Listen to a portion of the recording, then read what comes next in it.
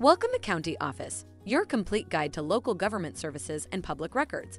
Let's start learning. How to buy a new home. If your current home hasn't sold yet, it's a common predicament. You've found your dream home, but your current home hasn't sold yet. So, how do you proceed? Firstly, understand that this is not an uncommon situation.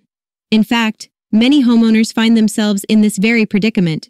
But don't worry, there are options available to you. One option is a home sale contingency.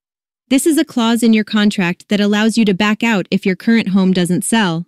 It provides a safety net, but it may make your offer less appealing to sellers. Another option is a bridge loan. This is a short-term loan that covers the down payment on your new home while you're waiting for your current home to sell. However, it's important to note that bridge loans can be risky and come with higher interest rates. Renting out your current home is another possibility. This can provide you with a steady income to cover your new mortgage until your current home sells. But remember, being a landlord comes with its own set of responsibilities. Finally, you may consider a leaseback agreement. This allows you to sell your home but continue living in it while you wait for your new home to be ready. Remember, each option has its pros and cons. It's crucial to consult with a real estate professional before making a decision.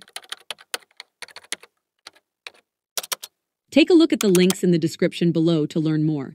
If you have any questions or want to share your thoughts, leave a comment. We're here to help. Thanks for watching our video.